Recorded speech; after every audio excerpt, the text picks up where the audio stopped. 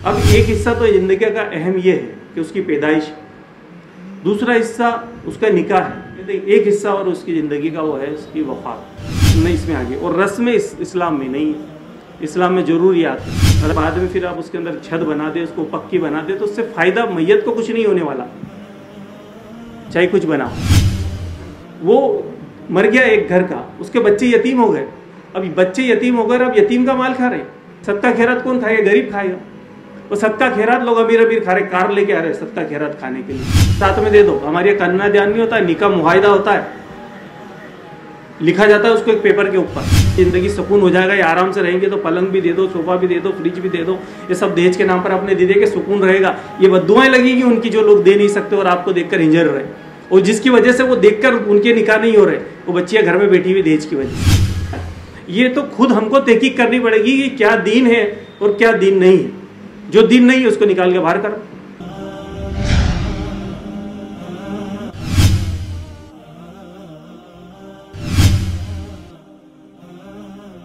अलहमदिल्ला रबीआलमीन असलात वसलाम अला रसूलिल्लाह वाला वसाबी अजमैन फ़ाउज़बिल्लिनशैतानरजीम बसमीम रबी शली सदरी वयासिली अमरी वहलुक़दमिलसानी यफ़ कोली। अलहमदिल्ला हम सब यहाँ इस हफ़्ते वारी दरस कुरान के लिए जमा हुए हैं। इस्लामी ज़िंदगी के तीन अहम हिस्से, इस उनवान के ताल्लुक से चंद बातें मैं रखूँगा। इंसान की ज़िंदगी में और एक ईमान वाले की, मुसलमान की ज़िंदगी में बहुत सारे अहम मौके आते हैं। पैदाइश से लेकर उसकी मौत तक। कई मौके रहते हैं जिसके अंदर किसी रिश्तेदार शादियाँ हैं, खुद के बच्चों की शादियाँ हैं, भाई की शादियाँ हैं, वालदेन का इंतकाल है, दादा का इंतकाल है। कई मौके ज़िंदगी में उसके आते हैं, उसकी नौकरी है, उसके जॉब है, मिलती है, कई वो दुकान लगाता है तो सारे मौाक़े ज़िंदगी के अंदर उसके आते हैं। तो इंसान की ज़िंदगी में तीन अहम मौके आते हैं और ये माइल स्टोन है। और वो तीन मौके ये हैं। वैसे तो कई मौके हैं, लेकिन ये तीन है, जिसके अंदर उसका एक जब पैदा होता है वो, दूसरा जब उसका निकाह होता है, एक लंबा उसका एक वो रहता है उसके बाद में उसकी वफात होती है, जब वो मर जाता है। ये तीन अहम ऐसे ज़िंदगी के उसके ताल्लुक़ रखते हैं। निका भी एक अहम हिस्सा है, और ये बड़ा लंबा हिस्सा होता है उसका। इसके निका एक मर्द और औरत एक बंधन में बनते हैं। तो और भी। लेकिन ये जो है ख़ास हिस्से हैं ज़िंदगी के अहम हिस्से तीनों, पैदाइश, निकाह और उसकी वफात। और इस्लाम एक सादगी पसंद दीन है। इस्लाम के अंदर लवाजिमात नहीं है, बिला वजह की चीज़ें नहीं है कि ये भी उस पर सब लाद ली जाए। ऐसी चीज़ें नहीं है इस्लाम के अंदर। इस्लाम के अंदर जो चीज़ें हैं वो सादगी इस्लाम चाहता है कि इंसान के अंदर, एक मुसलमान के अंदर जो ईमान वाला हो, उसके अंदर सादगी आए। सादगी को पसंद करता है। और इस्लाम ये चाहता भी है कि वो सादगी का मुजाहरा भी करे और इन मौक़ों पर भी करे, जो तीन मौके जो ज़िंदगी के अहम हिस्से हैं, उसके अंदर भी वो इसका मुजाहरा करे।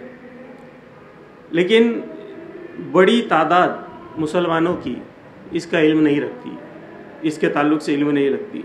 वो जो देखते हैं, जो सुनते हैं, वो करते चले आते हैं और वही करते रहते हैं। हालाँकि दुनिया के अंदर ऐसा नहीं है। ये सिर्फ़ दीन के अंदर, धर्म के अंदर, किसी भी धर्म में जाएँ तो वो जो सुनते चले आ रहे हैं, जो देखते चले आ रहे हैं, लोग क्या कर रहे हैं? हमारे आबा अजाद क्या करते चले आ रहे हैं? वही उसको तरजीह देते हैं, वही चीज़ों को वो करते हैं। उसके लिए, लेकिन मालूम नहीं करते। लेकिन ज़िंदगी का जब मामला आता है, अपने बच्चे को उसका एडमिशन करवाना है, एक बच्चा उसका बड़ा हो गया, तीन साल का हो गया वो सोचते हैं कि इसके लिए एडमिशन करवाना है। एक बच्चा ने स्कूल पास कर लिया मिडिल से निकाल कर हाई क्लास को हाई क्लास को पार कर गया, अब वो कॉलेज उसको जाना है। तो उसके लिए वो तलाशे जाती है, सबसे पूछा जाता है, इंटरनेट पूरा खंगाला जाएगा, सबसे पूछा जाएगा कौन सा स्कूल अच्छा है, स्कूल के अंदर क्या फ़ीस है, स्कूल का माहौल कैसा है, टीचर्स कैसे हैं, कहाँ से आए हैं, कैसा पढ़ाया जाता है, कोर्स क्या है, तमाम चीज़ें, कारोबार अगर उसको कुछ करना है, जॉब करना है, जॉब मिल रही है तो उसके लिए भी वो देखेगा कि यहाँ पर करना है कि नहीं करना, रहूँगा कैसे, बाहर करना है, यहाँ करना है, तमाम चीज़ें को रिसर्च करता है। कारोबार करना है तो पूरा रिसर्च करेगा कहाँ से सामान लाना है, कैसे होगा, कहाँ से फ़ायदा मिलेगा, कैसे इसको बेचा जाएगा, कैसे एडवर्टाइजमेंट उसका किया जाएगा। तो सब चीज़ों के लिए तहकीक और इल्म उसके लिए हासिल करता है ताकि वो उसमें फेल ना हो। लेकिन बात जब इसकी आती है कि दीन की आएगी तो उसके अंदर इंसान अक्लबंद कर लेता है। और वो जो देखा, सुना, वही करने लग जाता है। उसके अंदर रिसर्च नहीं करता, उसके अंदर देखता नहीं। सिर्फ़ वो जो चलता चला आ रहा है, जो या किसी जमात या किसी ऐसे ग्रुप से जुड़ गया तो उसके साथ में जो चलता चला आ रहा है, वही वो करता जाएगा। उसके लिए तहकीक नहीं करता। तो ये सब इसमें हम देखते हैं। हालाँकि और दुनिया के जो उसके मामला थे ज़िंदगी से जुड़े हुए, जो दूसरे मामला थे उसके अंदर पूरी तहकीक करता, फिर शुरू करता है। ऐसे नहीं करता कि वो कर रहा है तो अपन भी कर लें। उसके लिए पूरा तहकीक होती है। लेकिन दीन के मामले में मालूम नहीं करते हैं। तो दीन क्या कहता है? बजाय इसके कि देखा, क्या सुना और क्या चल रहा है, बजाय इसके कि हम उसको मालूम करें। और मालूम करना कोई मुश्किल काम नहीं है कि दीन के बारे में मालूम किया जाए। और आज के दौर में तो कोई मुश्किल ही नहीं है। इतना दीन के बारे में आसान है। तो दीन ने क्या हुक्म दिया? दीन ने क्या रहनुमाई की इसके बारे में? दीन क्या कहता है? वो हमको मालूम होना चाहिए। अब ज़िंदगी के अंदर सबसे ज़्यादा एक अहम हिस्सा एक इंसान के होता है, वो होता है उसकी पैदाइश का, बच्चे की पैदाइश का हिस्सा होता है। या तो उसके भी बच्चा हो, वो भी उसके लिए एक अहम है और वो खुद पैदा हुआ था तो उनके माँ बाप के लिए वो अहम था।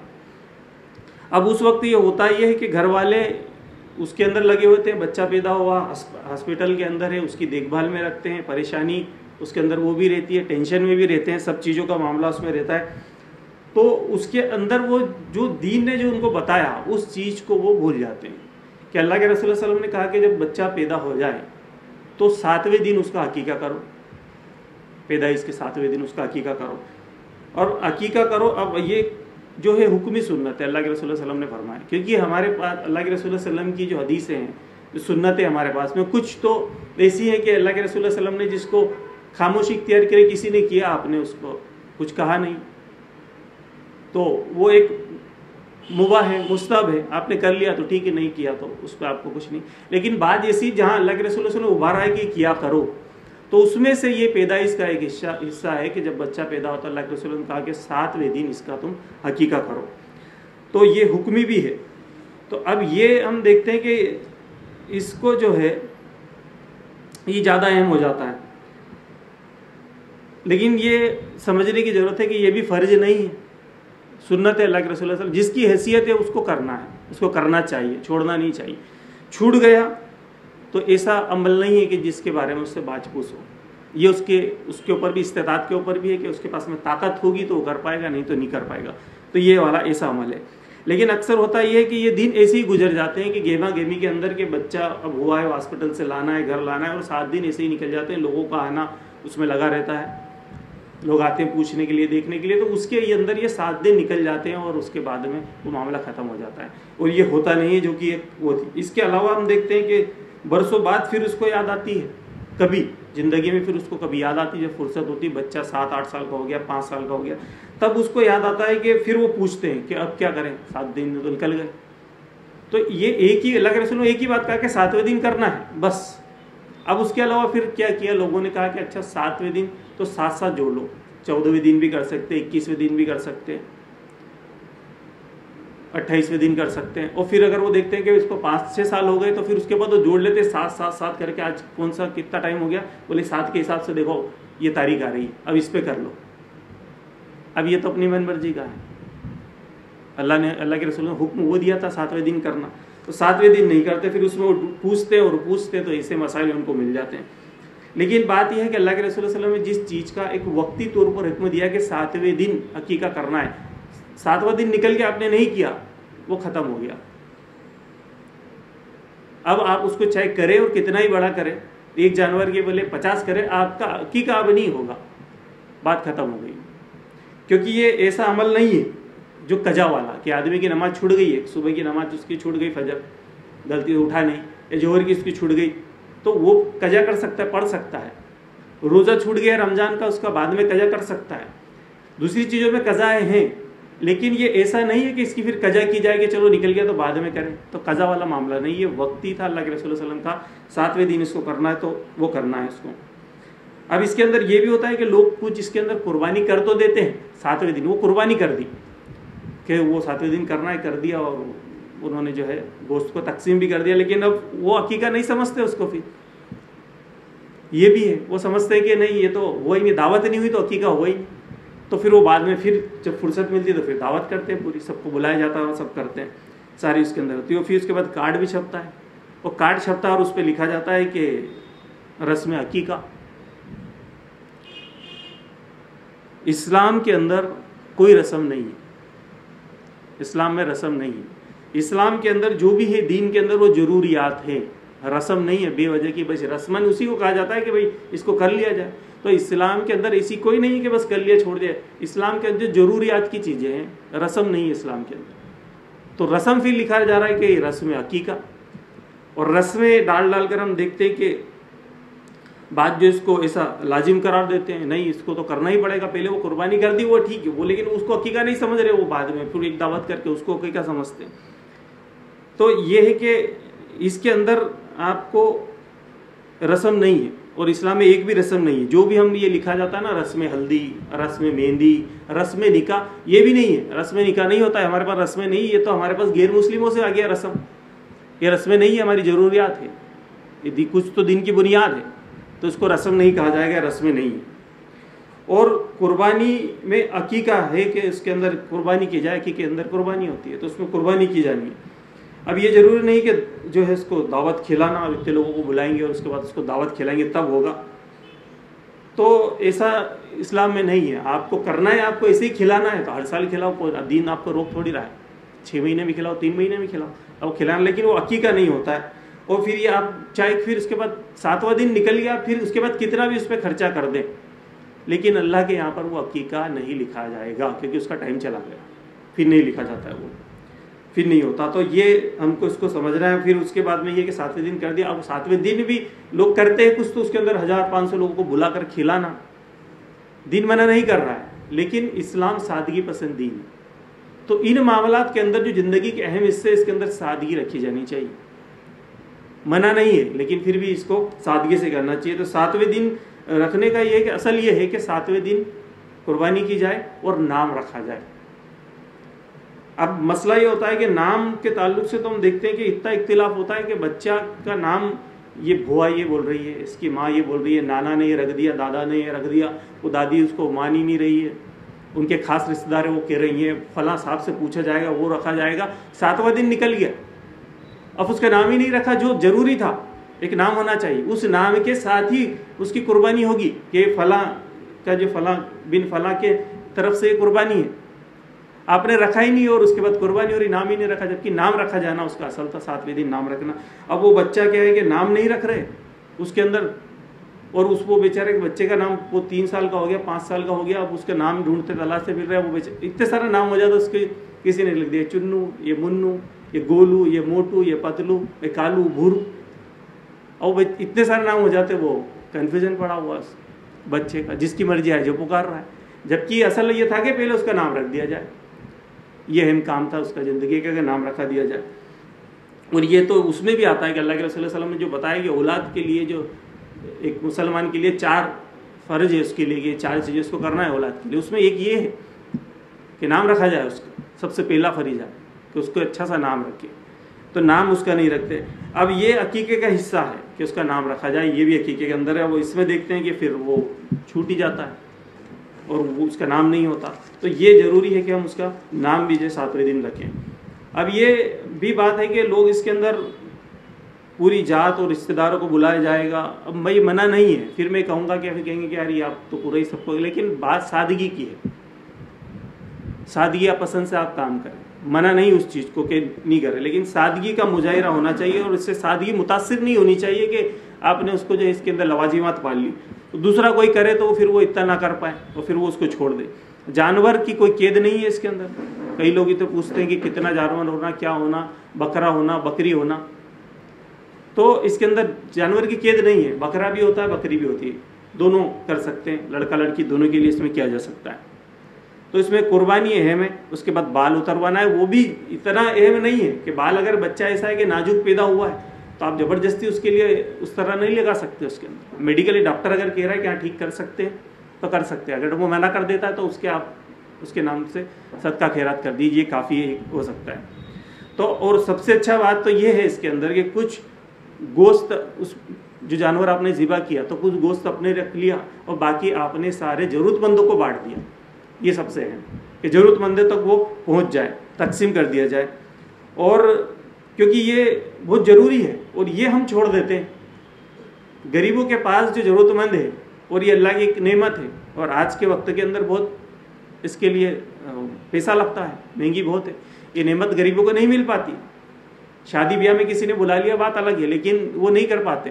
तो ये इसीलिए हमारे बीच में कि ये, एक तो क्या होता है कि हमारी जब ईद आती है तो उस वक्त तो उनके पास भी बहुत हो जाता है, तमाम मोहल्ले वाले भी दे रहे रिश्तेदारी भी दे रहे बहुत सारा आ जाता है। लेकिन बीच के अंदर क्या साल भर वो इंतज़ार करता रहेगा? तो ये हकीके को इस तरह होना चाहिए कि कुर्बान, जानवर की कुर्बानी की, उसके बाद ये जरूरतमंदों को उनको भी ढूंढना है ये भी आपका काम है ढूंढ कर आप उन तक पहुँचाए।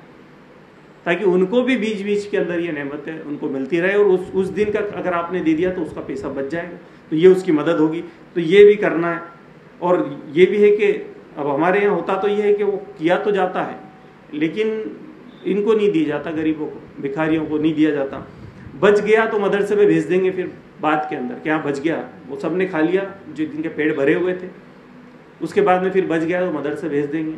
जो बस, गरीब बस्ती के अंदर फिर जाकर उसको बांट देंगे। लेकिन ये, और ये सब वलीमे के अंदर भी होता है। वलीमे के अंदर भी खाना, पूरी शादी के अंदर उन्होंने खाना कर लिया और उसके बाद बच गया तो फिर वो गरीबों को दे देंगे। और जबकि अल्लाह के रसूल वसल्लम ने फरमाया कि उस वलीमे का खाना उसको अल्लाह के रसूल पसंद नहीं किया। कि जिसके अंदर अमीरों को दावत दी जाए और गरीबों को ना बुलाया जाए। तो उसमें नहीं किया जाता, बल्कि कुरान ने तो ये कहा, अल्लाह अल्लाह ने कुरान में फरमाया कि तुम गरीबों को इज़्ज़त नहीं देते हो, मिस्कीन को। तो इज़्ज़त भी देना है साथ में।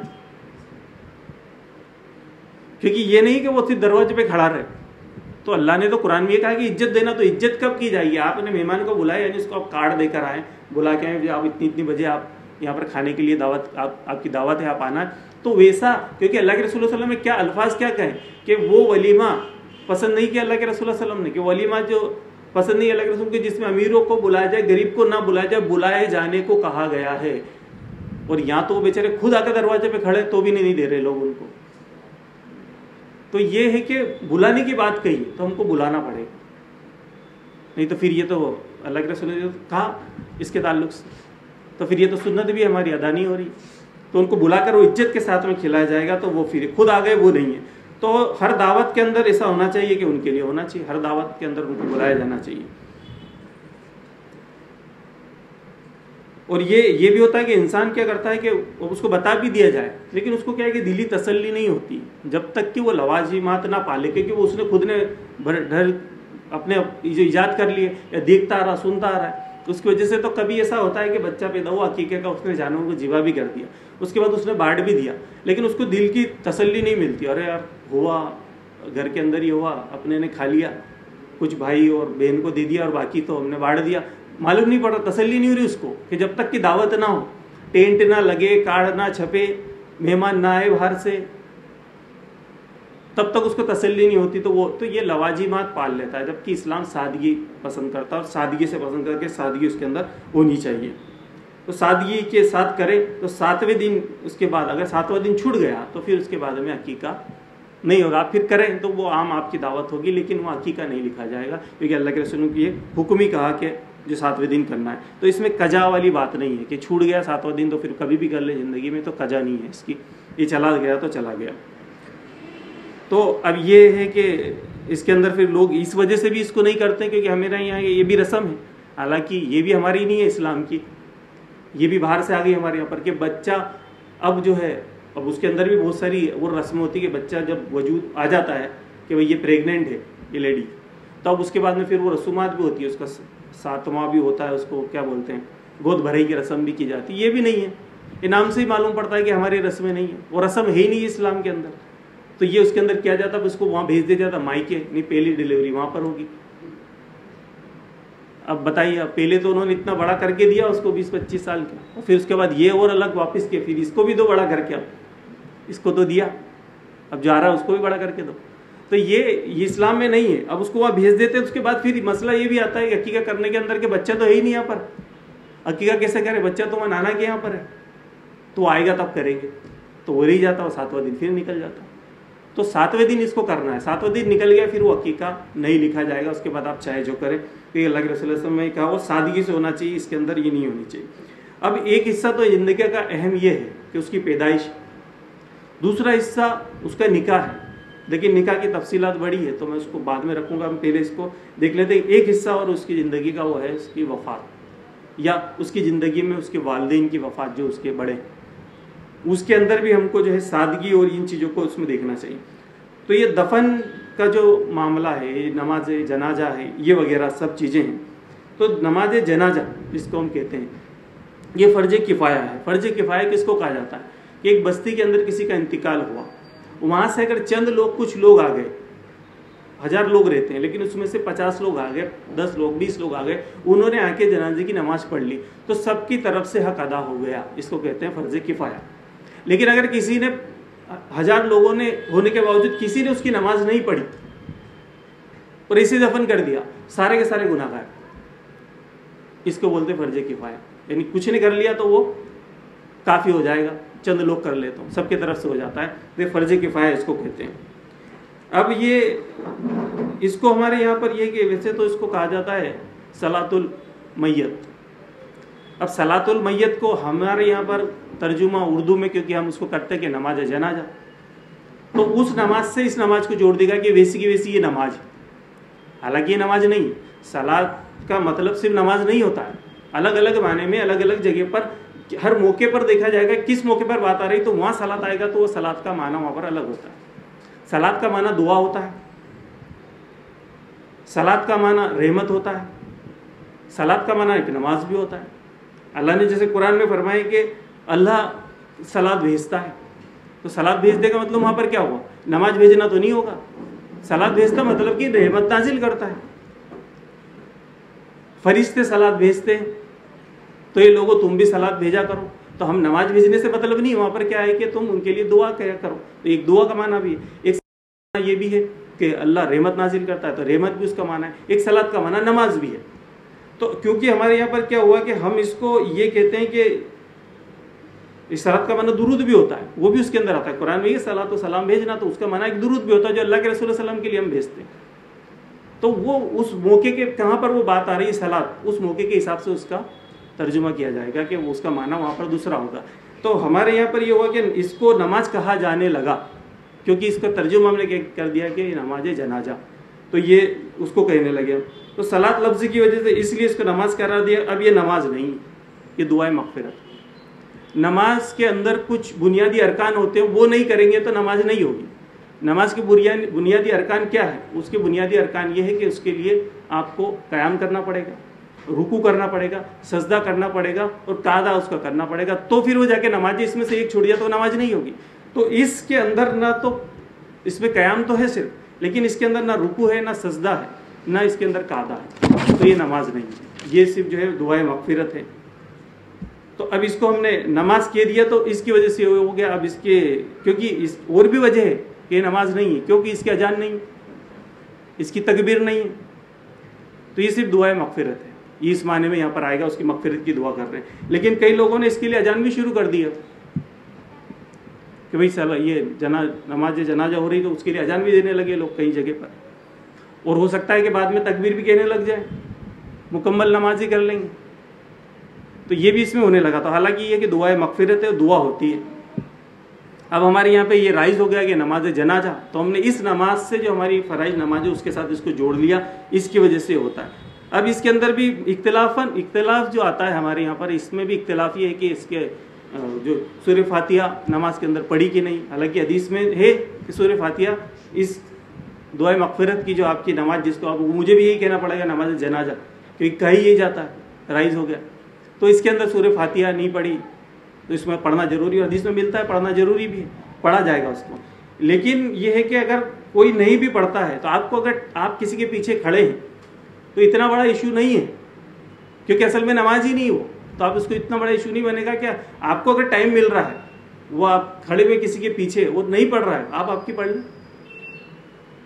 उससे तो आपको नहीं रोका सकता, रोका जा सकता है। आप आपकी पढ़ ले इतना, उसमें आपको टाइम मिल रहा है तो पढ़ सकते हैं उसके अंदर। और नहीं भी है तो क्योंकि नमाज़ ही नहीं है तो इसका बड़ा फरीजा भी नहीं, अगर रह भी जाए तो कोई इसमें वो भी नहीं। क्योंकि असल में जो है मकफरत वाली इसके अंदर बात है। तो इसके अंदर शिद्दत नहीं रखनी चाहिए कि शिद्दत इसके अंदर इख्तियार कर ले कि नहीं, ये नहीं पढ़े इसने तो हमें नमाज़ ही नहीं पढ़नी इसके पीछे। ये मामला नहीं और अक्सर नमाज़ क्या नहीं पढ़े, वैसे तो लोग नमाज़ पढ़ते ही नहीं है। वो भले भेस कर ले कर लेते हैं। हालाँकि खुद वो नमाज़ नहीं पढ़ते, वो जब जागते हैं इसलिए शक्ल दिखाने के लिए, ताकि ये देख ले के देखो, ये मेरे दादा की मैयत में आया था। खाली वो नज़र पड़ जाए उसकी बस तो उसके आगे पीछे थोड़ा सा बस एक बार इसकी नज़र हो जाए एंट्री हो जाए कि हाँ मैं आ गया था बस। तो दिखाने के लिए गया हूँ। वो इसके लिए भी नहीं गया कि अल्लाह की रजा के लिए कि भाई जाऊँ मैं। मैयत में जाने का भी बहुत सारा सवाब है। अल्लाह के रसूल की इतनी सारी हदीस है उसके तारुक से फरमाया कितना कि अहम सवाब उसके बताएँ। कि अगर उसके साथ जाता है, तदफीन तक रहता है तो फिर सवाब बताया गया उसका। लेकिन वो सिर्फ़ शक्ल दिखाने के लिए फॉर्मेलिटी के लिए गया। फॉर्मेलिटी के लिए गया तो फिर वो फिर कोई मतलब ही नहीं, और अगर ऐसे करने के लिए गया तो फिर वो दुआ मकफरत भी करे, उसके लिए खड़ा होकर, वो पूरी तरीके से भी करे तो भी कोई मतलब नहीं रहेगा उसकी मकफरत के लिए, वो काफ़ी नहीं होगी। तो ये है कि किसी को अगर दुआ मकफरत आती भी ना हो, क्योंकि अक्सर नहीं आती, क्योंकि रोज़ का मामला नहीं। कभी साल में कोई मरा तो उसमें ज़्यादा नहीं आई उसको तो फिर क्या करें? तो ये ऐसा ज़रूरी भी नहीं, सीखने की कोशिश करें। वो नहीं आती है तो जो पढ़ रहा है उसके साथ में आप खड़े हो जाएँ, जो इसे कर रहा कर ले तो भी आपका हक उसमें अदा हो जाता है। अब इसके अंदर भी हम देखते हैं कि इस मामले के अंदर ये भी ज़िंदगी का एक अहम हिस्सा और इसके अंदर बहुत सारी रस्में हमारे यहाँ पर शामिल हो गई। कई सारी रस्में इसमें आ गई, और रस्में इस, इस्लाम में नहीं है। इस्लाम में ज़रूरियात है, रस्में इस्लाम में नहीं तो इसके अंदर आ गई कि कफन के कफन की बहुत सारी, अब जब बता, हालाँकि ये भी हदीसों से वाजे क्या कफन होगा, क्या नहीं होगा, कैसा उसको रखा जाएगा। लेकिन उसके अंदर भी फिर ये चादर भी होना, ये भी होना, ऊपर ये भी होना, ये ढक दिया, फिर इसके ऊपर और ढक दो, इसके ऊपर और ढक दो, इस पर फिर फूल भी रख दो, इस पर इतर भी रख दो। ये सारी चीज़ें उसके अंदर। अब ये भी, अब फिर कोई पूछेगा कि नहीं, कि मना है क्या? अब मना नहीं, लेकिन मोहमल है। लेकिन इसका फ़ायदा कोई मैयत को नहीं होने वाला। आप चाहे उसमें फूल डालो, एक कुंटल डाल दो दो कुंटल डाल दो, मैयत को कोई फ़ायदा होगा उससे। मैयत को कोई फ़ायदा नहीं है आप ऊपर से कुछ भी करें। मैयत को उसका कुछ भी नहीं मिलना है। तो इन पैसों से अगर या आपने जो इतना इतर इसके अंदर लगाया, इतना आपने इसमें जो महँगी चादर इसके ऊपर मखमल के आपने लगी इसमें तफूल लगाया, इतना पैसा किसी को सदका कर देते तो वो इसको फ़ायदा पहुँच जाता। ये चीज़ें फ़ायदा नहीं देगी तो ये चीज़ें इसमें फ़ायदा नहीं होता। और मैयत के इसाले सवाब भी जो दिया जाता है, हम कहते हैं जिसको इसाले सवाब तो उसका इसाले सवाब मैयत का सिर्फ़ और सिर्फ़ बरजक तक रहेगा। आखिरत में काम नहीं आएगा। आखिरत में सिर्फ़ वही काम आएगा जो उसने ज़िंदगी में किया होगा। जो कुछ हम मिसाले सवाब करते हैं, यहाँ पर हमारे दादा, हमारे वालिद अगर गुजर गए और हम उनके नाम से सदका, खैरात करते तो बरजक की ज़िंदगी में कुछ उनको तकलीफ़ या कुछ होगी तो वहाँ आसानी उनके लिए हो सकती है। लेकिन आखिरत में नहीं हो आखिरत में काम नहीं आएँगे सारे अमल अब जो करेंगे, बात के अंदर करते हैं। आखिरत में तो सबको अपना अपना हिसाब उसके अंदर देना है। हाँ कोई नेकी वो शुरू कर कर गया और बाद में लोग उसको करते रहे। कुछ वो काम लगा कर गया, लोग उसको करते रहे अच्छा काम किसी को सिखाया, वो करते रहे तो उसका फ़ायदा उसको बर्जे की ज़िंदगी के अंदर मिलता रहेगा और बाद में भी उसको हो सकता है कि अल्लाह उसको फ़ायदा दे। तो उसके नामा अमल में वो चीज़ें लिखी जाएगी जो वो कर कर गया ज़िंदगी के अंदर। बाद में जो चीज़ें उसे बर्जक तक रहेगी आखिरत में वो भी काम नहीं आएगी, अब चाहे जितना भी उसके लिए खर्चा करते हो। और ये इसलिए भी है कि अल्लाह ने कुरान में फरमाया सूर्य नज़म सुर नंबर तिरपन, आयत नंबर उनचालीस में ले सली इंसानी इला मसा के इंसान के लिए वो है जिसकी उसने कोशिश की। इसके अलावा कुछ भी नहीं। उसने जो ज़िंदगी में कोशिश की, वो उसके काम आना है। बाकी इसके अलावा आखिरत में कुछ काम उसके आने वाला नहीं। तो दूसरा जो करेगा, वो चाहे उसके लिए अच्छा करे, चाहे बुरा करे, उससे कोई फ़ायदा नहीं पड़ता। उससे कुछ नहीं होना चाहिए उसकी ज़िंदगी में कुछ नहीं होना। इस तरह अल्लाह ने फरमाया सूर्य फातिह सो नंबर पैंतीस, आयत नंबर अट्ठारह में फरमाया कि, वला वला तजीरू व जिर तुम, विजरा उखरा।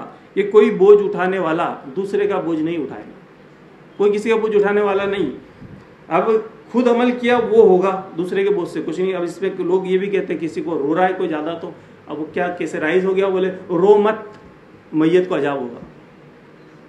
कुछ नहीं होगा, रोगा ये। अगर ये गलत तरीके से रोना, पीटना, जो अल्लाह के मना किया है, अगर ये कर रहे तो इसका अजाब इन्हीं को होगा, ये गुनहगार में पड़ेगा।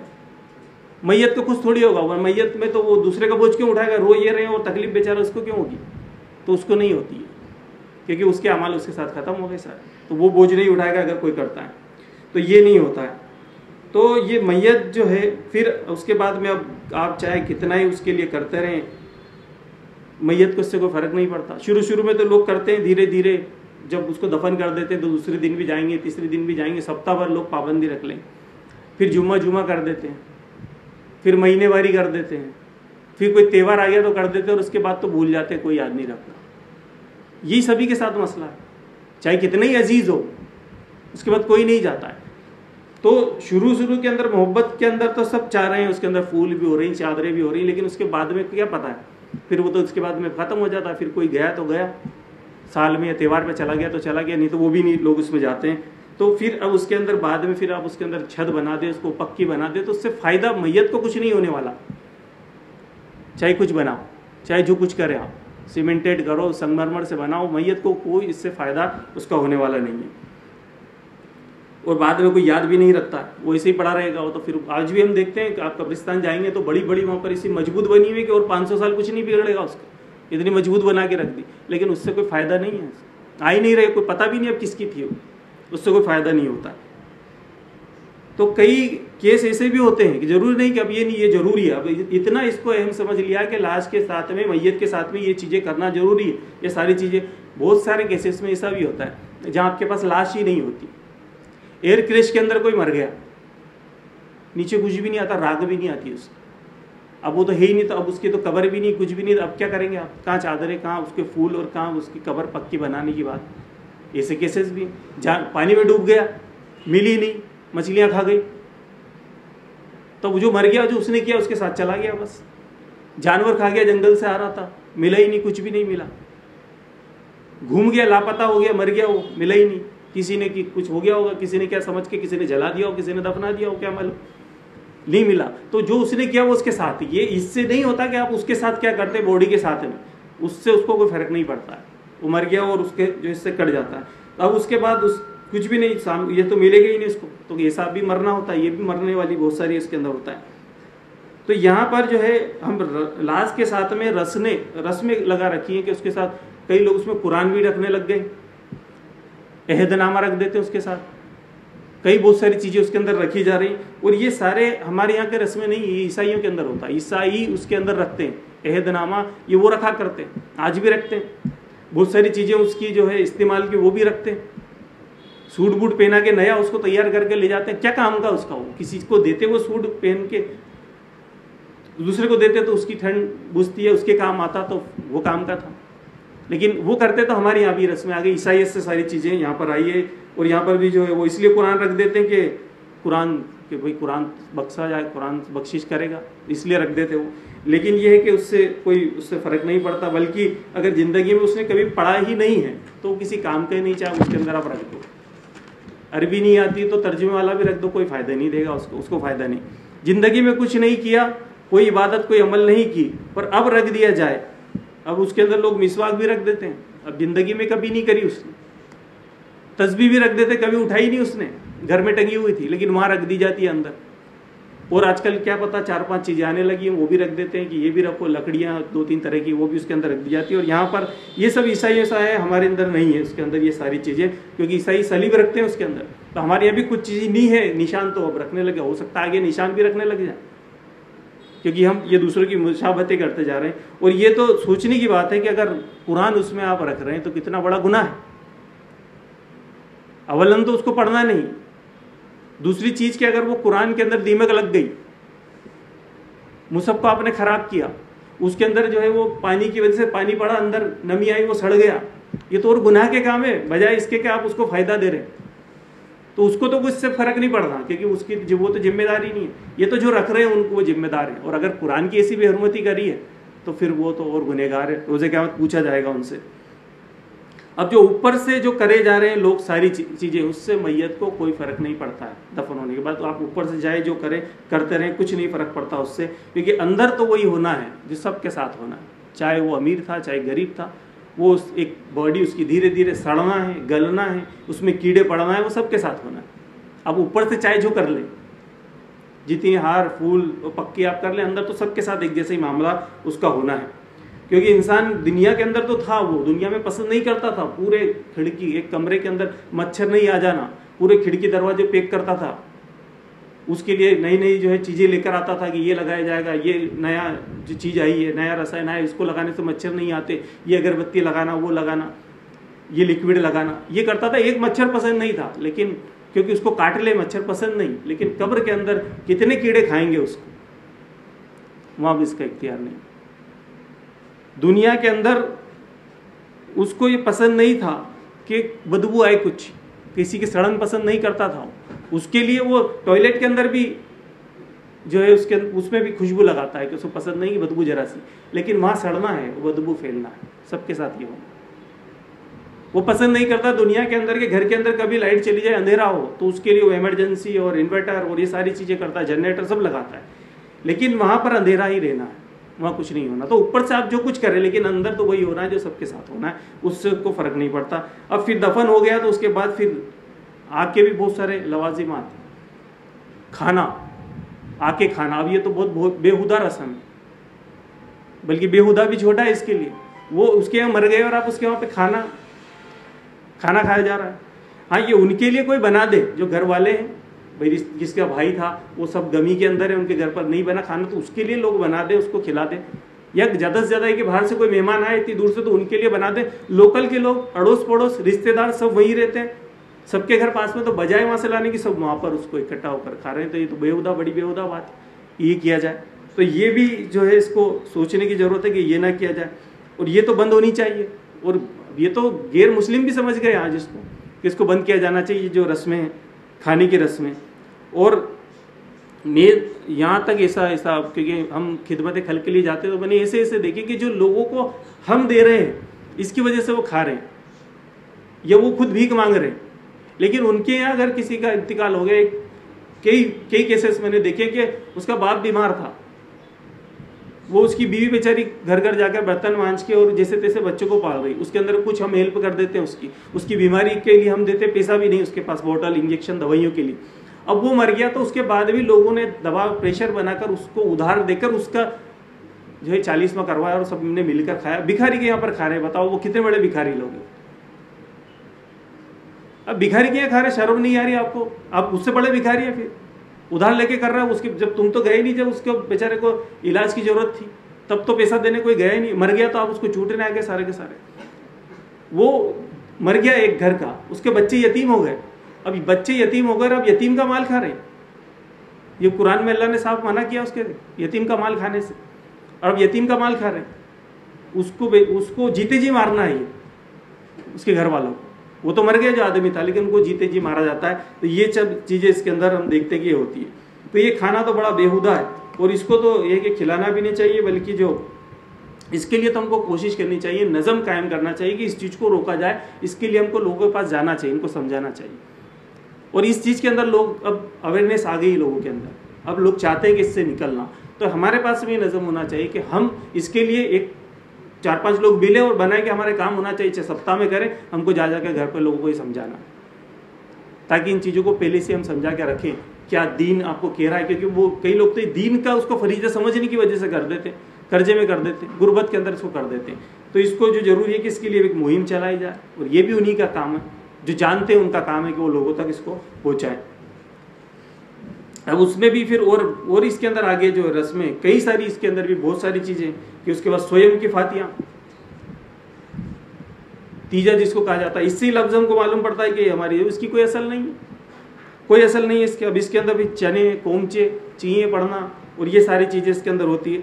अब किसी को इतना ही साल सावक पास हुए तो इकट्ठा होकर करने की क्या ज़रूरत, अपने घर पढ़ लेते चने। कुरान आपको पढ़ना था तो घर भी पढ़ सकते थे। तो यहाँ इसको एक रस्म पूरा बनाकर यहाँ पर मस्जिद में बैठकर या घर के अंदर ही करना कोई ज़रूरी है। या ऐसा है कि नहीं, यहाँ इसके घर के आगे पहुँचाएँगे तभी ज़्यादा स्वभाव मिलेगा। हमारे घर से दूर पड़ रहा स्वभाव तो वहाँ जाके उसमें कुछ कमी पड़ जाएगी। असल में तो क्या है कि ये हुआ शुरू, मैं जहाँ तक समझता हूँ शुरू कैसा हुआ कि जिन लोगों को कुरान पढ़ना नहीं आता, अब वो तो एक रस्म तो हो गई वो, तीजा होगा। तब तो जिसको कुरान पढ़ना आता है वो तो पारा लेकर बैठ जाते हैं। अब कुछ ऐसे भी आएँगे कि करीबी रिश्तेदार है, लेकिन पढ़ना ही नहीं आता। तो फिर उन्होंने कहा कि यार, ईद को पढ़ना नहीं आता तो इतना तो पढ़ना आता होगा, ला इला इल्ला तो चलो, तुम भी करो, ला इला इल्ला मोहम्मद रसूलुल्लाह। तो ये शुरू हो गया। कि ये खाली बैठे क्या करेंगे? इनको तो आता ही नहीं कुरान पढ़ना, अरबी नहीं आती तो इन्होंने ये चालू कर दिया। तो ये, ऐसे भी हो, इसके हो सकता है। तो असल ये है कि हमको ये लोगों को बताना चाहिए और इसके बारे में हमको बताना, जा जाकर इसको बताना चाहिए ये चीज़ें इस्लाम में नहीं, क्योंकि ये राइज हो गई हैं, वो लोग इसको अहम फरिया समझते हैं। और फिर वो देखते हैं कि अगर नहीं करेंगे तो उसके बाद में फिर लोग क्या कहेंगे? करना पड़ेगा, सब तो करते आ रहे हैं। तो इसको भी समझाए, इसकी ज़रूरत है कि हम इसको समझाएँ। और लोगों की फ़िक्र ना करें। फ़िक्र हमको उसकी करना है कि अल्लाह उसके रसूल क्या कहेंगे? लोग क्या कहेंगे उससे क्या काम? अल्लाह उसका रसूल क्या कहेंगे उनको क्या जवाब देंगे? वो काम हमको करना है। अब उसके बाद में दस, बीस, चालीस और सालाना भी बनाया जाता है। ये भी की जाती है। और ये तो सोचना चाहिए कि ये काय के लिए किया जाता है? ये तो खाने वालों को भी थोड़ी अकल लगानी चाहिए कि भाई किसके लिए किया जाता है? कि भाई उसको इसाले सवाब इसाले सवाब मतलब सदका और खेरात से पहुँचता है इसाले सवाब और आप पूरे के पूरे लोग जो वहाँ पूरे सवा महीने की उसकी फातियाँ हो रही है, और पूरे सालाना उसकी बरसी मनाई जा रही है। ये गरीबों के लिए है। सत्ता खैरात कौन खाएगा? गरीब खाएगा। और सत्ता खैरात लोग अमीर अमीर खा रहे, कार लेके आ रहे हैं सत्ता खैरात खाने के लिए। तो ये तो थोड़ा सा अकल लगाना चाहिए लोगों को भी, हम क्या खा रहे हैं क्या चीज़ें खा रहे हैं। तो गरीबों के लिए। बल्कि और उसके नाम से तो कर देना चाहिए, फ़ोन करना चाहिए, मेरे बाबा की बरसी है, तुम्हारे घर से भी हज़ार रुपये सत्ता कर देना। इतनी मोहब्बत है। ये होना चाहिए तो फिर ये सत्ता घेरा है। आप उसके घर खाने जा रहे हैं। तो ये नहीं होना चाहिए, इसको भी हमको अवेयरनेस लाने की ज़रूरत है। अब ये भी एक ज़िंदगी, हालाँकि बहुत सारी इसमें चीज़ें हैं और मैं कई बार मैंने रखी भी हैं, लेकिन मुख्तसरन के ज़िंदगी के तीन अहम हिस्से हैं। जिसमें से एक है पैदाइश, दूसरा है मौत। और एक जो बीच का हिस्सा रहा, हमारा वो है निकाह। निकाह के अंदर, अब निकाह के ताल्लुक से भी अब ये इतना ऐसा मामला हो चुका है और ये तो बहुत इंतहाई बड़ा मौजू है निकाह का। अब इसके अंदर ये कि अभी न्यूज़ न्यूज़ आई थी, टाइम्स ऑफ़ इंडिया, हमारा नेशनल मीडिया, बहुत बड़ा पेपर है, इंग्लिश का, टाइम्स ऑफ़ इंडिया, उसके अंदर खबर छपी कि मुसलमान अपनी पुरानी जो रिवायात है, उसकी पाबंदी वो जकड़न से निकल कर अब बाहर निकलने लगे, शादी ब्याह के अंदर। अब वो भी जो है, उनके अंदर भी जो है ये चीज़ें होने लगी, डांस और ड्रिंक की पार्टियाँ वो करने लगे। क्या कह रहे हैं, वो जकड़न में फंसे हुए थे तो निकल गए। ठीक है, अब उन्होंने तो तारीफ़ के लिए लिखा होगा। उनके हिसाब से ये था कि भाई ये तो फिजूल रस्मों में फंसे हुए थे तो उन्होंने तो तारीफ़ के लिए लिखा होगा। लेकिन हमारे लिए तो तंज की बात है कि उन्होंने ये लिखा। एक डांस तो वो तो रोडों पे करते हैं लोग। एक डांस वो है कि आजकल डांस पार्टियाँ होती हैं, मुसलमानों के अंदर भी हो रही। तो ये चीज़ें रिसेप्शन के अंदर होता है, वो ड्रिंक की आम हो गई। तो ये सारी चीज़ें, ये शादी है। वो कह रहे हैं ना लोग कि शादी है क्या शादी में आना तो वाकई वो शादी में ही बुला रहे हैं निकाह में नहीं बुला रही, निकाह नहीं है।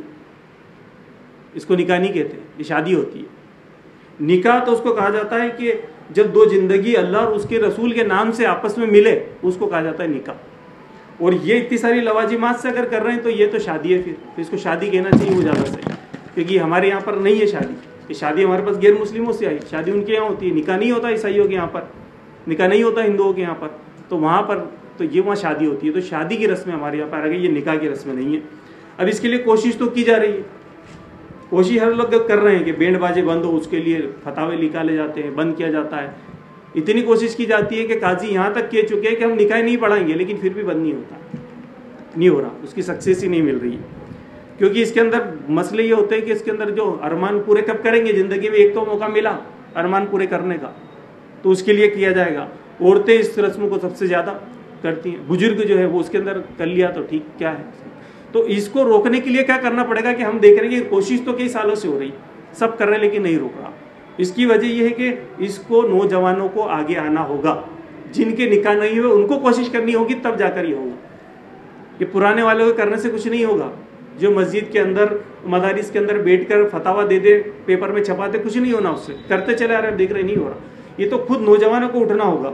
वो इसके लिए बगावत करनी होगी। ये बगावत की चीज़ है। घर के अंदर इस मामले में बगावत होनी चाहिए। ये रस्म नहीं होगी। ये हल्दी नहीं होगी। ये मेहंदी नहीं होगी। ये सेरा नहीं बंधेगा। सादगी रखी जाएगी इस्लाम। सादगी का दीन। तो ये तो उनकी जिनका निकाह हो रहा है, उनको करना पड़ेगा। अब पुराने वालों से नहीं होगा। ये उनको करना पड़ेगा, तब होगा। क्योंकि उसके लिए तो एक नौजवान उसको मनपसंद लड़की से शादी करना है उसके लिए बगावत कर देता है। खाना पीना छोड़ देगा, मर जाऊँगा। लड़की कह देगी मैं मर जाऊँगी, इससे शादी नहीं करी। घर वाले झुक जाते हैं उसके लिए। कर देते हैं उसका तारीख क्या इससे तो कर देंगे इसकी। उसमें बगावत मंजूर। लेकिन यहाँ पर जब बात आती है तो कहते हैं कि अब हमारा इख्तियार नहीं है कंट्रोल नहीं तुमने शादी के लिए तो मनवा लिया बगावत करके। उसी से करना है। तो इस रस्मों के अंदर भी बगावत होनी चाहिए कि मेरी शादी में ये नहीं होगी, ये नहीं होगा। आप चाहे जो करें। जिम निकाह होगा और लड़का है तो फिर दावत वलीमा होगा, नहीं तो कुछ भी नहीं होगा।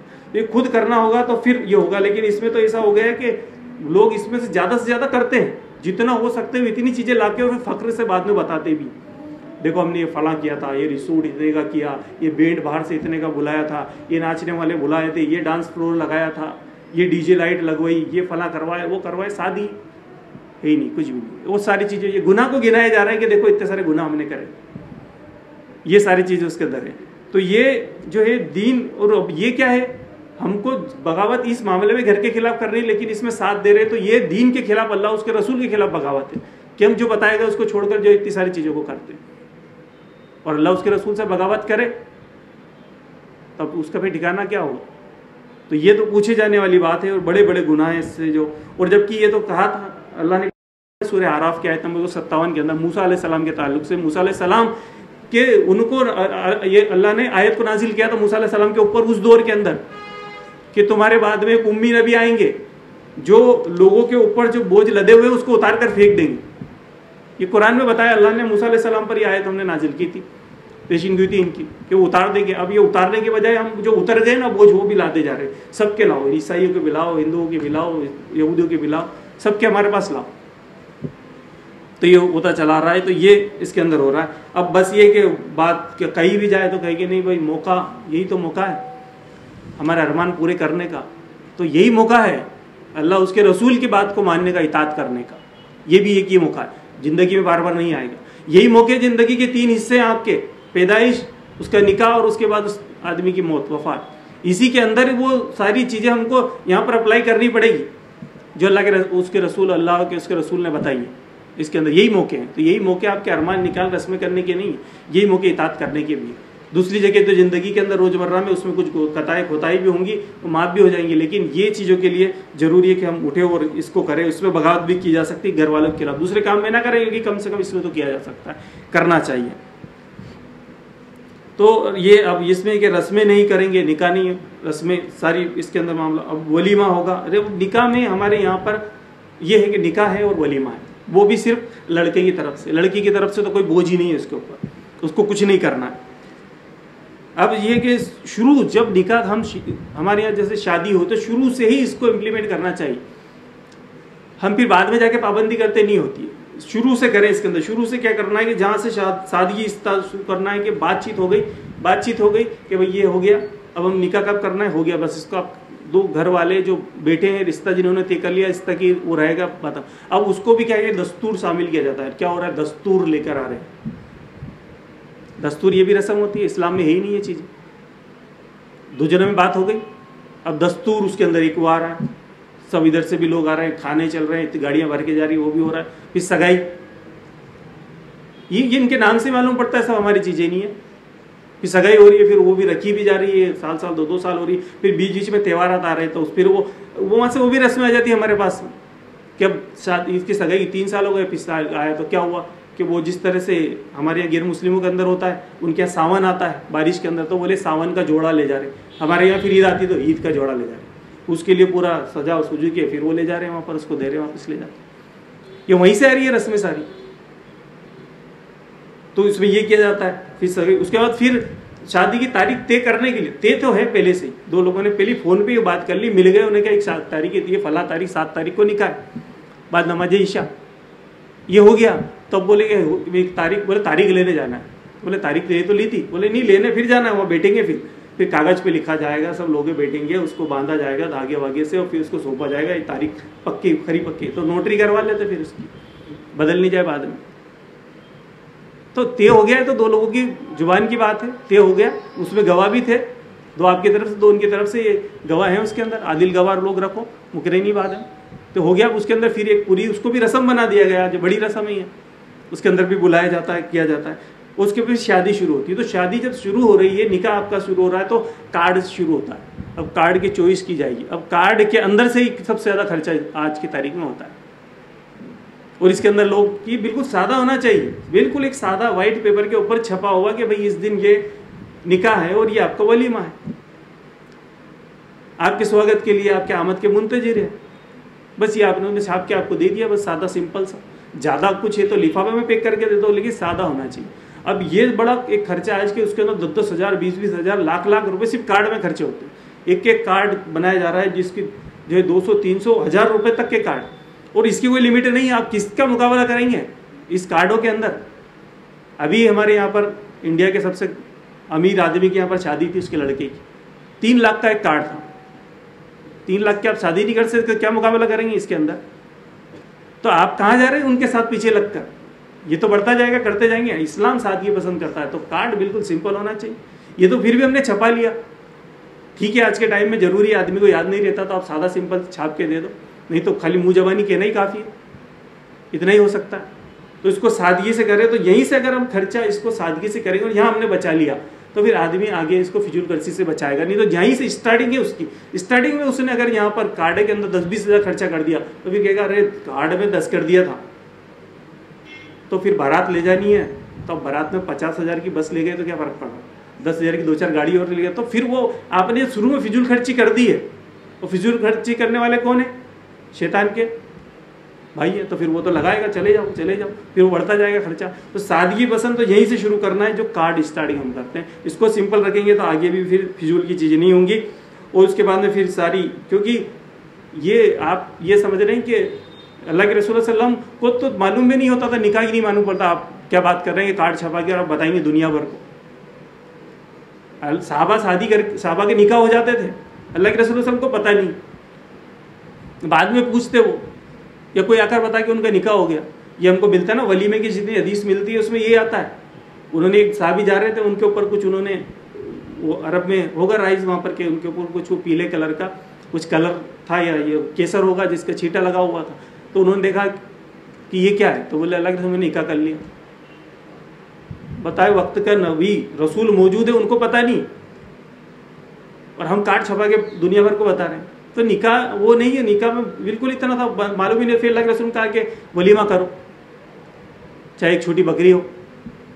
और अल्लाह के रसूल ने वली में किए और बिल्कुल शादी भी किए। यहाँ तक भी किया अल्लाह के रसूल वसल्लम की नी था उनके पास में तो कहा कि सबको के निकाह कर लिया और सबसे कह दिया कि उनके जितने साहबा थे जो वहाँ मौजूद थे, उनसे कहा, अपने अपने खेमों से, अपने अपने घरों से खाना लिया और यहाँ बैठ के खा लो वलीमा हो गया। इतना सादा, सिंपल दीन है हमारा।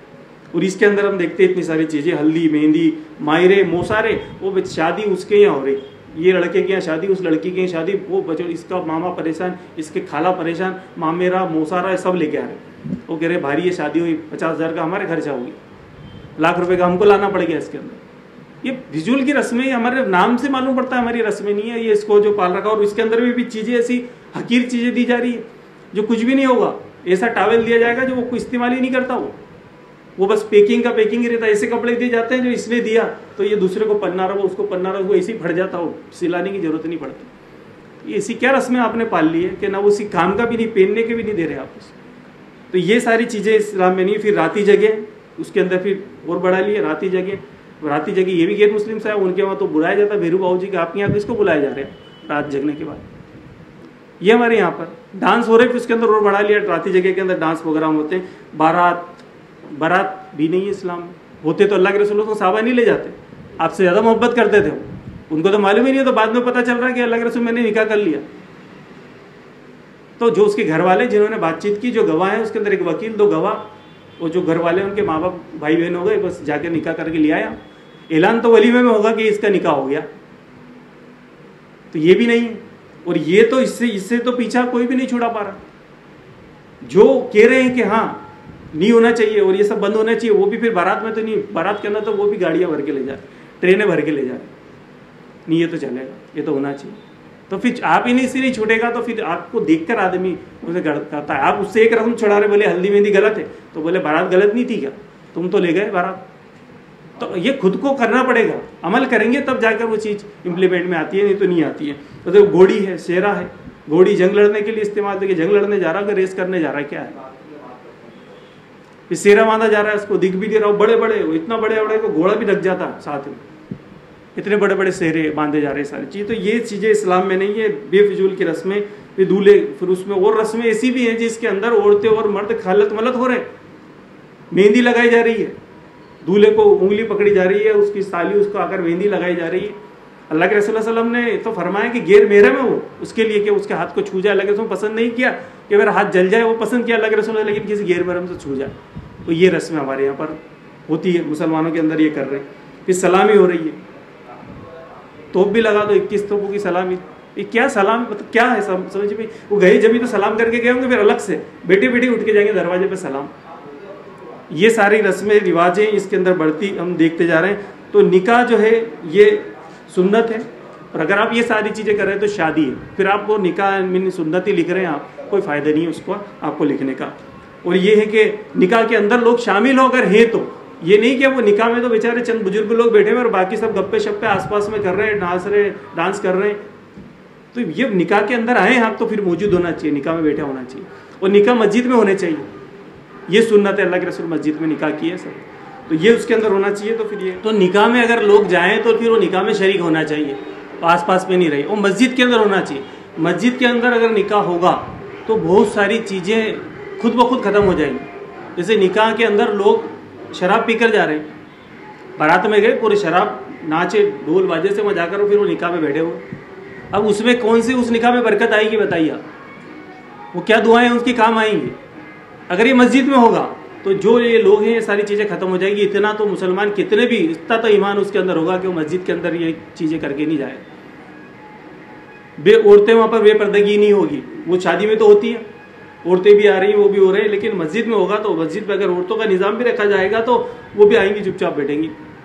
बेपर्दगी नहीं होगी वहाँ पर। तो मस्जिद में होगा तो फिर ये होना ही चाहिए, वो सुन्नत भी यही है। और फिर उसके बाद ये भी एक हमारे यहाँ पर हो गया कि निकाह के दिन खाना। निकाह के बाद खाना होता है वलीमा उसको कहा जाता है। अब उसके दिन भी खाना ये लोग कोल तो पहले ही कर देता है, और बाद में कौन करे? पहले ही करो तो ये चीज़ें नहीं ये बात की चीज़ें बाद में होती है, और उसके बाद सबसे बड़ा शादी का जो सबसे बड़ा इशू बना हुआ है, सबसे ज़्यादा वो है दहेज। अब ये दहेज का ऐसा है कि अमीर तो दे देता है, लेकिन गरीब तो ये उनको सोचना चाहिए जो दे रहे हैं, और कहते हैं कि हमको दिया अल्लाह ने तो दे रहे क्या तोहफा नहीं दे सकते क्या? कहाँ मना है, तोहफा दे रहे वो तोहफा क्या है? वो तो आपने उधर से लिया है पूरा। दहेज वहाँ पर था। वो कन्यादान था, इसके लिए देते वो दान कर देते तो जो कुछ देना उसके साथ में दे दो। हमारे यहाँ कन्यादान नहीं होता, निका मुहिदा होता है। लिखा जाता है उसको एक पेपर के ऊपर। तो हमारे मुहिदा है, वो दान नहीं है कि आपने एक दे दिया उसको, कि दान हो गई वो। तो वहाँ पे तो दान होता है, इसलिए दे देते हो कि जो कुछ देना है, अभी देना है। यहाँ तो विरासत में इसका हिस्सा है, लड़की का। या आपने दे दिया वो नहीं तो दहेज इसके अंदर अब अमीर दे रहा है, लेकिन ये सोचना चाहिए, वो अमीर दे रहा है। और तुमने ऐसा काम किया है कि वो जो आपके आसपास में गरीब लोग रहते हैं जो रिश्तेदार आए वो आपके देख रहे हैं कि मेरी बेटी की ऐसी शादी नहीं कर सकता हूँ। वो लड़की वहाँ पर मौजूद है, देख रही है कि मेरी शादी ऐसी नहीं हो सकती है। और मेरा बाप मुझे इतना नहीं देख सकता, उन गरीबों की आहें निकलती है। और वो आहें निकलेगी तो आपके बच्चों बच्चों की ज़िंदगी सुकून से नहीं गुजरने वाली। आप ये सोच रहे कि इतना देकर जो हम उनकी ज़िंदगी सुकून हो जाएगा या आराम से रहेंगे तो पलंग भी दे दो सोफा भी दे दो फ्रिज भी दे दो ये सब दहेज के नाम पर आपने दे दिया कि सुकून रहेगा। ये बदुआएँ लगेगी उनकी जो लोग दे नहीं सकते और आपको देखकर हिंजर रहे। और जिसकी वजह से वो देखकर उनके निकाह नहीं हो रहे वो बच्चियाँ घर में बैठी हुई दहेज की वजह से। तो बदुआएँ लगे जो इसको कर, करते हैं तो, तो ये तो बहुत बड़ा लानती काम है। और ये भी हम देखते हैं कि आम है इसके बिना तो होता ही नहीं है तो तय किया जाता है कितना देना कितना नहीं देना। और इसके लिए भी ये होगा कि ये बात ये नहीं कि सामने वाला दे रहा है नहीं दे रहा अपनी मर्ज़ी से दे रहा है ये तो खुद लड़के को खड़ा होना पड़ेगा मैं नहीं लूँगा। और लड़कियाँ अलग कहना पड़ेगा मैं नहीं दूँगा। तब जाकर खत्म होगा खुद खड़ा होना पड़ेगा और इसमें बगावत करनी चाहिए। कम लड़के को करना चाहिए। नहीं तो, तो भीख मांगना है स्टैंडर भिखारी है।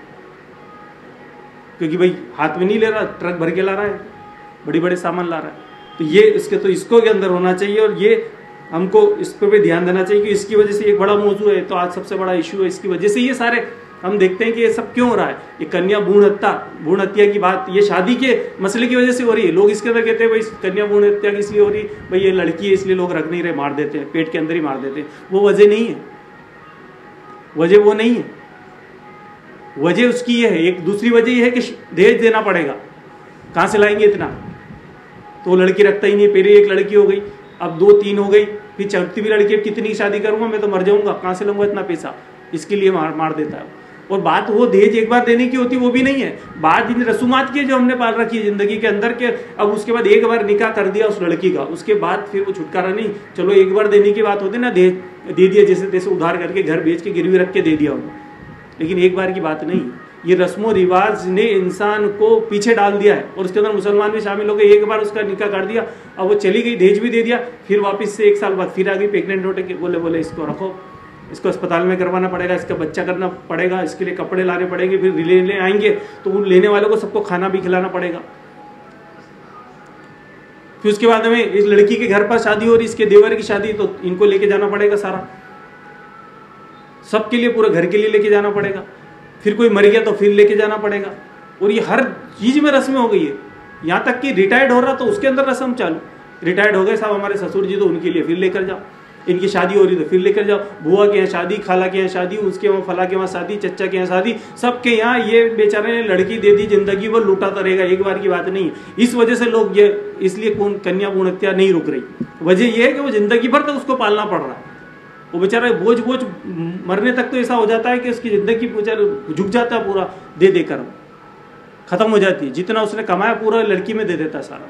तो ये ज़िंदगी भर की रस्में, रिवाजों की वजह से ये हो गई इस्लाम में भी दाखिल हो गई इसलिए हमारी ज़िंदगी जो मुश्किल हो गई, जो अहम फरीजे थे, दी तीन हमारे अहम इससे उनको हमने इतने जो इसके अंदर लवाजिमात पाल के इसको ख़राब कर लिया। तो अब ये है इसके अंदर शादी में अंदर ये भी होना चाहिए कि मेहर नगद हो। मेहर नगद होना चाहिए। इस्तात के हिसाब से होना चाहिए। हमारे यहाँ तो ये होगा कि नहीं, क्या पता किसी ने कहा से निकाल लेके बत्तीस रुपए सुन्नत देना। बत्तीस रुपए सुन्नत। और वो उस वक्त की जोड़ेंगे आप। बोले, उस वक्त का हिसाब किताब लगाओ तो बत्तीस रुपये बन रहा। बत्तीस रुपये की वैल्यू क्या है आज?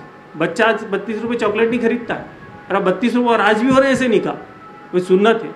यही सुन्नत दिख रही है। अल्लाह के रसूल तो ऊँट पर बैठ के जाते थे। ऊँट रखते थे घर के अंदर। तो ये भी तो सुन्नत है, हर आदमी मुत्ते की परहेज कर अपने को कह रहा तो ऊँट बाँध के रख वहाँ पर। सुन्नत ये नहीं होती है। सुन्नत, उस दीन की जो सुन्नत अल्लाह के वो सुन्नत दौर के हिसाब से बदलती है, इसी को दीन कहा जाता है। दीन रुक नहीं जाता है।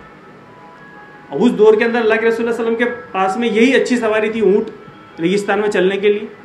आज हमारे पास में तेज़ी से चलने के लिए क्या है? मोटरसाइकिल है कार है तो ये सुन्नत है आज। इसी को सुन्नत कहा जाएगा। आज अगर जंग की बात है, जंग हमारी जब तलवारों से हो रही थी, घोड़े पे बैठकर हो रही थी, और आज हमारे पास कभी सुन्नत है तो क्या इससे लड़ेंगे? आज के दौर के अंदर। वो इतनी दूर आने ही देगा, वो हज़ार फीट दूर बैठ के आपको गोली मार देगा वहीं से। तो ये सुन्नत नहीं है, अब सुन्नत ये होगी कि वैसे के वैसे हथियारों से लड़ा जाए, ये सुन्नत होगी। तो हमारी सुन्नत तो अब उसके अंदर वो थी उस वक्त के दौर के अंदर, लेकिन यहाँ इस्तात के हिसाब से रखा जाएगा। आदमी की कितनी इस्तात है, उसके हिसाब से मेहर रखे। उसके हिसाब से वो नगद उसके अंदर होना चाहिए कि नगद ही दे दे वो। नहीं तो फिर ये पड़ी रहती है और वो उसके अंदर आदमी भी मर जाता है, फिर वो बेचारी औरत को लिया जाता है। उसको के बोल थे कान के अंदर कि मैंने माफ़ किया मेहर। अब वो भी कह देती कि माफ़ बोल दो अब इसके अंदर क्या करें? ज़िंदगी में तो दिया ही नहीं। अब मरने के बाद कौन सा देगा? वह मत दे। माफ़। नहीं किया जाता तो इसको भी नगद रखना चाहिए, इसको भी शुरू करना चाहिए। ये भी जो है ज़रूरी और ये कि अल्लाह के रसोल्ला वसल्लम साहबा, सबसे पहले ये तो निकाह भी ये भी है, एक आखिरी बात और मैं रख देता हूँ तो क्या बहुत बड़ा मौजूद है, लेकिन ये निकाह के लिए हमने जो, अब जो सही है, जो ये सब चीज़ को से परे हैं, उन्होंने भी ये कर लिया कि निकाह के लिए एक किसी को मुकर कर लिया कि निकाह यही पढ़ाएँगे। वही क्यों पढ़ाएँगे? वहाँ अल्लाह के रसोल को मालूम नहीं पड़ रहा। अब अल्लाह के रसोल वसल्लम से कोई काजी बड़ा मौजूद था क्या वहाँ? तो साहबा को निकाह हो गया, मालूम ही नहीं। तो किसने पढ़ाया फिर वो निका? तो ये निकाह खुद का काम है, खुद पढ़ेंगे वो। खुद पढ़ेंगे, उनके वालदेन पढ़ाएँगे, उनके घर वाले मिलकर पढ़ाएँगे। थोड़ा सा है उसके अंदर खुदबा निकाह जो मसनून है वो वो मसनून आपको सीख लो, उसके अंदर चंद तीन चार तो आया थे हम नहीं तो देख के पढ़ लो। घर वाले खुद कर सकते हैं। कुछ वाज नसीहत भी कर सकता है, एक आदमी कुछ उसी को पढ़ के उसका तर्जुमा सुना दिया। और थोड़ी सी एक वो है, उससे पूछा जाएगा दूल्हे से और पूछ के वो कह सकता है खुद कर सकते हैं तो हमने क्या इसको ऐसा सिस्टम बना दिया सभी ने टोटल ने, कि नहीं वो उस एक वो रखा वही आएगा, वो निकाह नामा लेके आएगा, वो वही करेगा, उसमें ऐसा फला फला लिखा जाएगा, ये वो, या आप खुद भी कर सकते हैं। एक कॉपी लिया है, इससे आप खुद करेंगे आपने क्यों पाल रखा कि वो नहीं, वो ही करेंगे सारे? फिर उसके बाद उसकी उन्होंने फ़ीस भी रख रखी है, इतनी फ़ीस होनी चाहिए, फिर उसके बाद चंदे भी मुख्तलिफ़ आ जाते हैं। ये सब अभी एक ही बार ये इतना सारा खर्चा कर रहा है तो अपने भी इसके अंदर जो भी है, वो अपन भी निचोड़ लो तो भी कह रहा, मदरसे का भी दे दो, मस्जिद का भी दे दो, या तामीर हो रही उसका भी दे दो, कब्रिस्तान का भी दे दो। और सब निकालेगा और फिर वो भी लड़की वाले को देना पड़ रहा है, क्योंकि उसके यही बारात तो। उसके ऊपर कोई खर्चा नहीं तो खुद करना चाहिए, इसके अंदर भी हमको ये होना चाहिए, और इसको शुरू करना चाहिए कि आदमी खुद कराए। निकाह कोई इसी बड़ा काम नहीं है। छोटा सा काम है, सीख ले और वो उसको कराना चाहिए। और इसके अंदर जो भी, और बहुत सारी चीज़ें इसको मुझे बताने की ज़रूरत नहीं है कि क्या क्या है। ये तो खुद हमको तहकीक करनी पड़ेगी कि क्या दीन है और क्या दीन नहीं है। जो दीन नहीं है, उसको निकाल के बाहर करो। और जो दीन है, उसके पर रहो। इस्लाम सादगी पसंदी उसमें रहो। और इसके अंदर एक ज़रूरी चीज़ के इन तीनों मसलों के अंदर एक चीज़ नहीं करते हम, जिसकी वजह से इसके अंदर रस्में घुस जाती है और बहुत सारी चीज़ें लवाजिमात आ जाती है। वो चीज़ होती है कि बच्चा पैदा हुआ, अकीका हो रहा है। तो अकी के अंदर ये होना चाहिए कि एक आदमी मुत्तकी परहेजगार और पढ़ा लिखा उस आदमी को खड़ा करनी चाहिए और माइक, स्पीकर लगाकर उसको बुलवाना चाहिए कि आप थोड़ा सा यहाँ पर खिताब करें।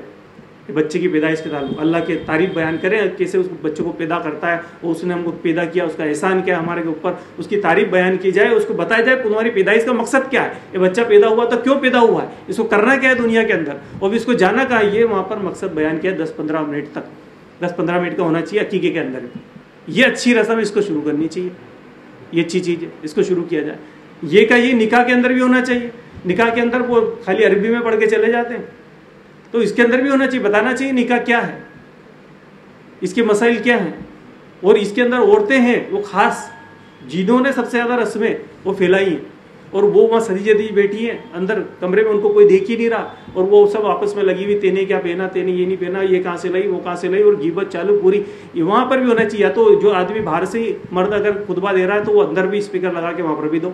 आज हमारे पास कुछ यही है। आपने डीजे का खर्चा करा स्पीकर नहीं वो लगा सकते अंदर? वो भी लगाना चाहिए। तो वहाँ लगा के ताकि उनको वाज नसीहत हो, या फिर नहीं हो तो एक औरत खुद हो, जालिमा और उन सबको वाज नसीहत करें, ये खुतबा क्या था और क्या हमको बताया गया दीन के अंदर? ये बार बार होगी तो फिर इसमें से चीज़ें निकलेंगी। ऐसा कैसे मैयत में भी होना चाहिए, या तो दफन के बाद हो, या फिर जो है मैयत के बाद में कुछ वाज नसीहत करनी चाहिए देखो, तुम आज इनकी जनाजा नमाज़ तुमने आज पढ़ी है, तुम्हारी भी एक दिन पढ़ी जाएगी, और तुम्हारा काम जो है, ज़िंदगी में अगर नेक अमाल किया तो तुम्हारे साथ में जाएगा, नहीं तो ऐसे कैसे तुमको भी दफन कर दिया जाएगा। और इससे इबरत हासिल करो।